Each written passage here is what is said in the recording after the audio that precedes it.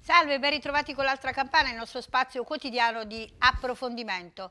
Il 22 maggio del 1988 moriva Giorgio Almirante, un esponente importantissimo del movimento sociale della destra eh, italiana. Morì, pensate, sembra così tanto tempo, 30 anni sono passati quasi in un soffio, non fece in tempo a vedere la caduta del muro di Berlino. Lui che aveva vissuto importantissime stagioni della politica nazionale, internazionale naturalmente ed europea e non potevamo non avere qui oggi che ospite l'onorevole Paolo eh, Agostinacchio per eh, la carriera politica che l'onorevole Paolo Agostinacchio ha avuto eh, sin da sempre, per la sua collocazione molto ma molto definita in un periodo, quello che stiamo attraversando, in cui in politica c'è veramente eh, poco di definito, i confini si sono molto ma molto allentati. L'onorevole Paolo Agostinacchio non devo stare a presentare il suo curriculum, per tanti anni è stato consigliere comunale, ha iniziato a fare politica, lui lo racconta sempre nei banchi del Consiglio Comunale ad Ascoli quando il suo avversario dall'altra parte era Angelo eh, Rossi e lui lo dice sempre, un'altra stagione con grande rispetto l'uno per l'altro da posizioni completamente diverse, completamente opposte. E poi gli anni eh, al Comune di Foggia come consigliere comunale, da parlamentare, presidente della Commissione eh, Finanze che lasciò per accettare la chiamata all'epoca di Gianfranco Fini di essere il candidato sindaco di Foggia. E pensate un po', dalla, da, lui è stato il primo sindaco eletto con la nuova legge, quella eh, dell'elezione eh, diretta da parte dei cittadini, dei sindaci, ed è da quella stagione politica, cioè dal 1994, l'unico sindaco che ha fatto due mandati, perché dopo di lui né eh, Orazio Ciliberti fecero, fece due mandati, né il sindaco Gianni Mongelli fece due mandati, mentre l'onorevole Paolo Agostinacchio fece due mandati. Allora, onorevole, 30 anni, ho detto sembrano pochi, sono tanti, eh, sono tanti nella vita delle persone, a volte nella storia 30 anni non sono un periodo lunghissimo, però possono essere un periodo significativo come lo sono stato. Chi è stato Giorgio Almirante?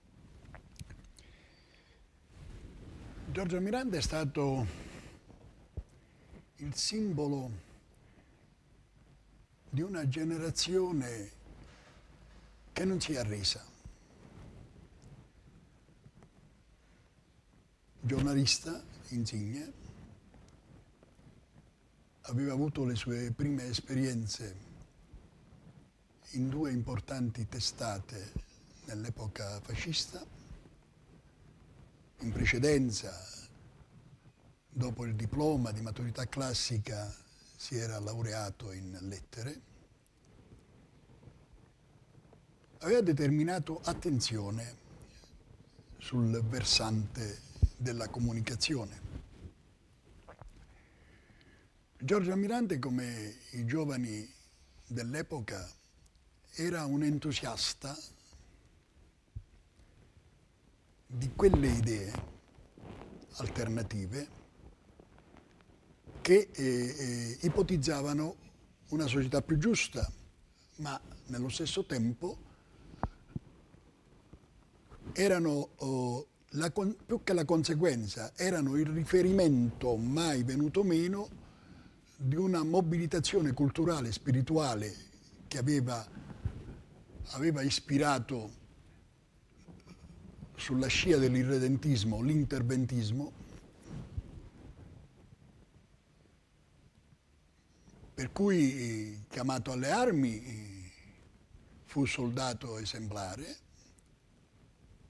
tornato in patria per una breve licenza, visse il momento drammatico dell'8 settembre, operando una scelta che fu quella della Repubblica Sociale Italiana.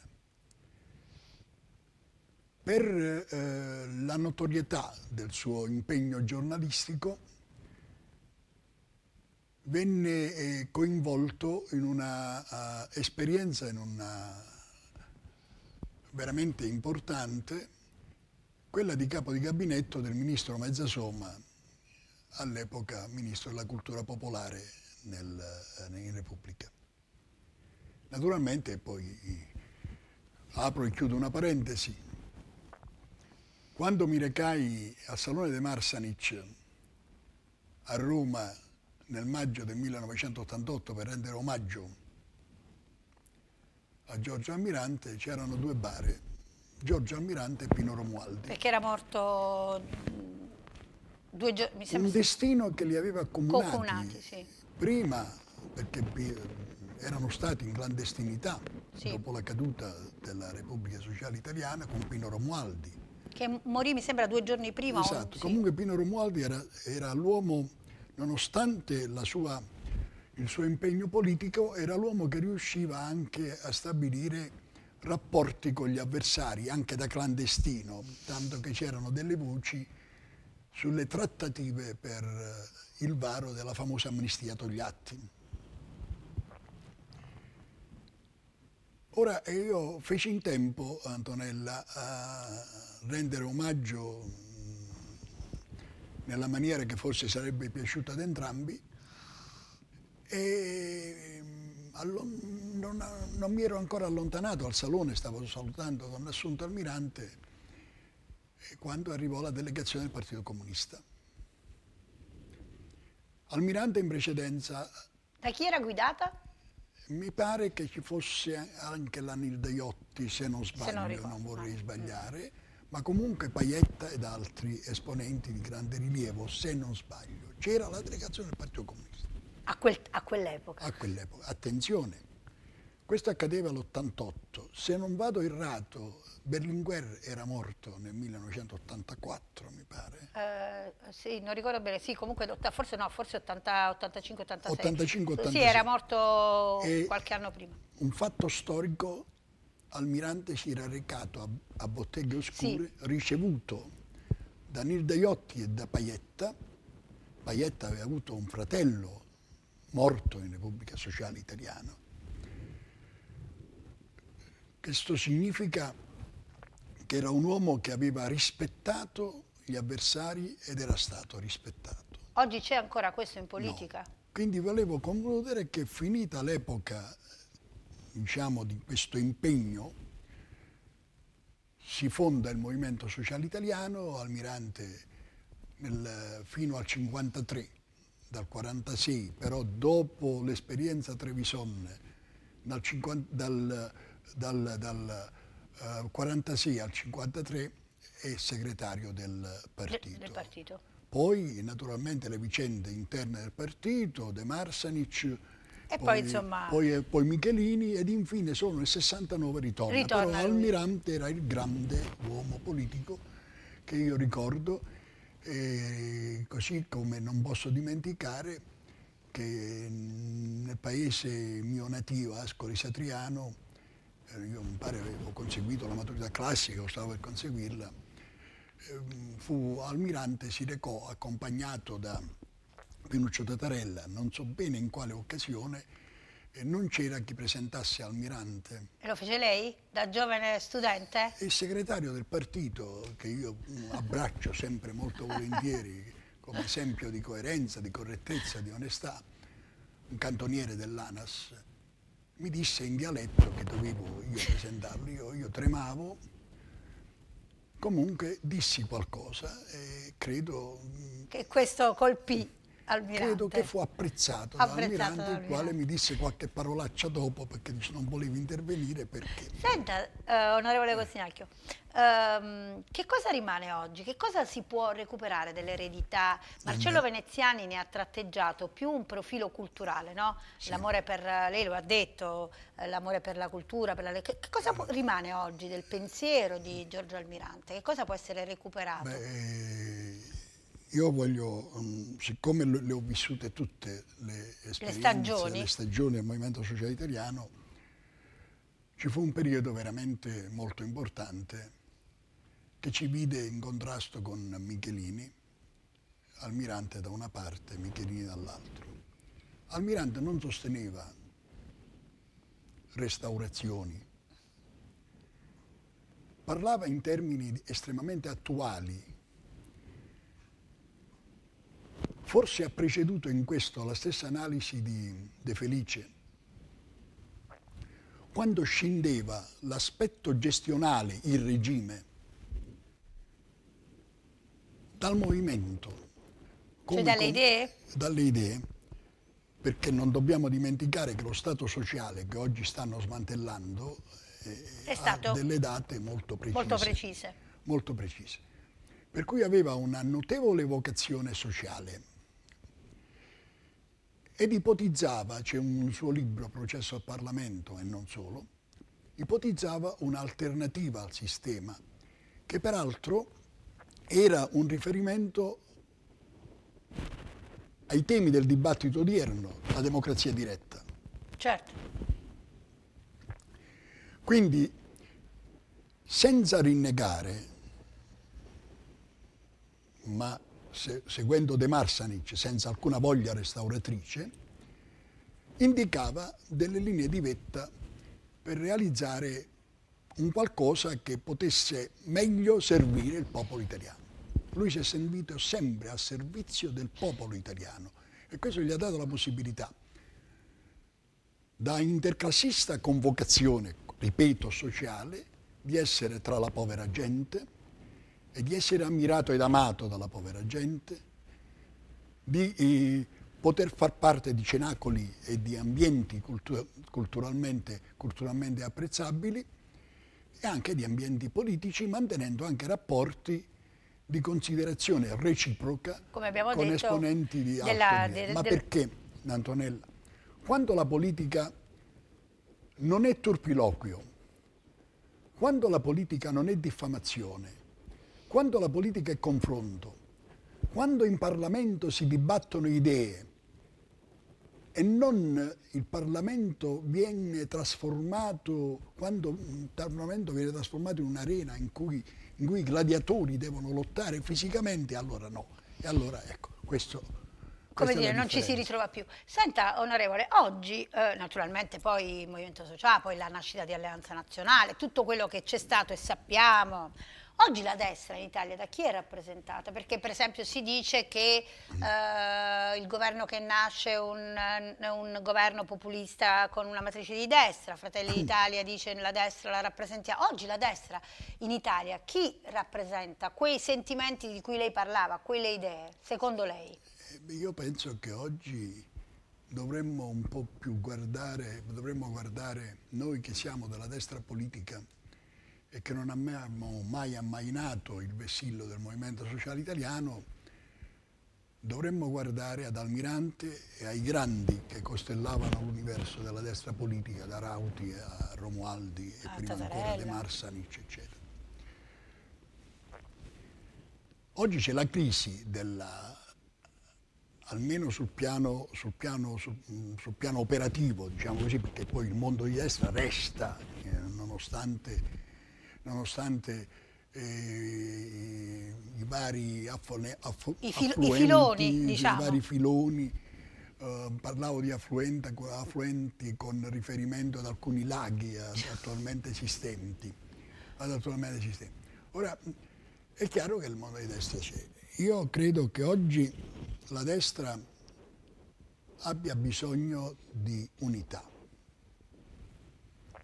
Io ho tentato in ogni modo da ultimo con, come garante del movimento voluto da Storace e da Alemanno successivamente. Mi sono dimesso perché hanno, hanno litigato anche tra di loro.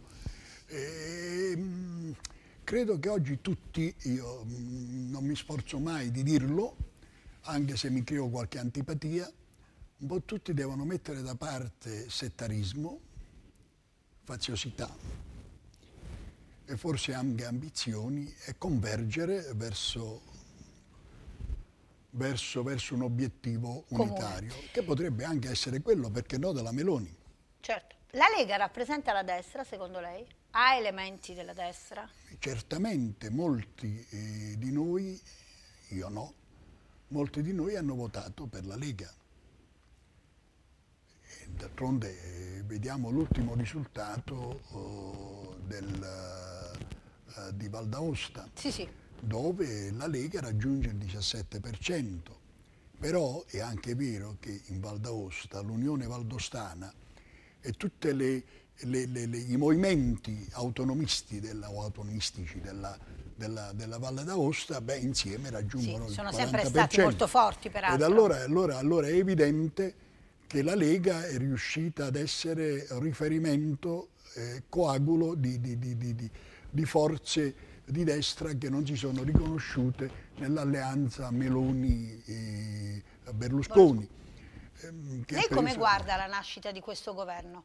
se nascerà, eh, perché abbiamo visto che eh, l'indicazione del Premier Giuseppe Conte volturare Appula, noi naturalmente facciamo il tifo un po' guardi, in maniera provinciale, diciamolo. Guardi, dopo Salandra, dopo in Puglia, vabbè, abbiamo avuto Aldomoro. Beh, certo, certo. In capitanata, in Salandra, in Troia. Sal Salandra, Troia, volturerà Appula. Eh, con Giuseppe Conte, Conte, il professor Giuseppe, Giuseppe Conte. Conte. E, Ma il governo secondo me nascerà secondo lei? Io credo che il governo nascerà. E sarà e Mattarella, come dire... Io penso anche che Mattarella eh, non avrà nulla da obiettare, poi tutto è possibile, eh, nulla da obiettare sulla indicazione di Conte, che è un ordinario di diritto privato, ed io guardo con interesse a questa designazione, perché se Conte non sarà l'esecutore materiale di ciò che decidono altri e sarà Presidente del Consiglio, beh, insomma, da giurista dovrà evitare certe brutture come, come, come, come vorrei dire, il superamento dello Stato di diritto, la retroattività che si vuole, si vuole riferire sulla questione dei vitalizi, per esempio. Ma dico i vitalizi, guardi, No, no, proprio ah, alcuni... Guarda, la questione dei vitalizi, io non la sollevo, non Cicero prodomomia, certo. assoluta, prodomomia assolutamente, non, non, è questo. È proprio l'impianto che mi lei infastidisce, mi infastidisce la demonizzazione del parlamentare. lei è come dire, stato un parlamentare in cui ci ha creduto molto. Io ci ho nella creduto figura molto, del parlamentare, così come nella figura del sindaco. Ho lavorato molto, nel senso che le notti insonni, le preparazioni dei degli interventi. D'altronde lei che è una è pratica a differenza di chi le parla eh, di tablet e di altre storie, eh, Camera dei Deputati, nona, undicesima, è così, è così. Eh, non, nona, undicesima, dodicesima legislatura e vedrà un po' il lavoro che è stato certo. fatto. Senta onorevole, se lei guarda indietro a tutta la sua storia politica, eh, anche al suo impegno nelle istituzioni, e anche a, a ehm, come dire, eh, gli elementi di positivi, perché poi la politica è adrenalinica, eh, lei l'ha vissuta anche in maniera eh, forte, dirompente, insomma lei quando è stato sindaco non è certo stato un sindaco che se le faceva passare sotto il naso né da parte de, della politica né da parte di quelli che lei definiva certi salotti e neanche da parte dei giornalisti, insomma gli scontri che ci sono stati fra me e lei sono, sono alle cronache. Quello che le volevo chiedere, guardando indietro, a quanto però poi ha rinunciato della sua vita personale, privata? Guardi, chi fa il sindaco e in genere chi fa politica e chi lotta per determinate idee, purtroppo, per legge dovrebbe essere obbligato al celibato o al nubilato, perché eh, dà molto poco alla famiglia, alle volte eh, non pensa al benessere materiale e spesso vive anche momenti di disagio, però l'impegno politico è tale ed è adrenalitico, adre, è così? Eh sì, adrenalinico. Adre, adrenalinico. Adrenalinico, adrenalinico, adren, adrenalina, adrenalinico, fa dimenticare tutto, cioè eh sì. tu eh, raggiungi un'età, per esempio 70 anni, dico per dire, eh, e non ti accorgi di essere, eh, perché? Perché sei stato talmente impegnato e preso quindi la politica è una cosa molto seria. L'ultima battuta. Qualcuno diceva che stava passando in Lega. Io uh, sono disorientato. Non ho votato Lega, ho visto la fiamma e automaticamente la mia mano è andata. Pur non avendo eccessiva simpatia per determinati personaggi, però sarei più portato ad una destra forte, coesa, che eh, alla Liga. Ok. Con tutto il rispetto. Però, dice, insomma, guardo con... Con tutto il rispetto, guardo con eh. simpatia, così come anche questa esperienza di governo. Non sono d'accordo sull'alleanza Movimento 5 Stelle Liga. Perché a lei il Movimento 5 Stelle non piace. Non sono d'accordo. Non sono d'accordo soprattutto perché Di Maio, con tutti i suoi limiti, è riuscito a distruggere il centrodestra. nel senso che sì, sì. Ha, ha, monopolizzato l'attenzione di Salvini, innamoramento strano. E quindi ha, cioè, ha fatto chiudere. quindi praticamente ha fatto l'alleanza con la destra quando Salvini è stato eletto anche con il mio voto. Eh certo, perché, quella era un'alleanza di. Perché io ho votato centrodestra. Allora vedremo come evolverà. Certo, intanto mi auguro per il bene del nostro paese eh beh, sì, che, che un governo si formi. Bene. Bene, allora grazie all'onorevole Paola Gossinacchio, ve l'avevo detto sarebbe stata una bella chiacchierata eh, e eh, anche necessario insomma spesso allargare gli orizzonti, grazie per essere stato in nostra compagnia, grazie a voi, ci vediamo domani, arrivederci.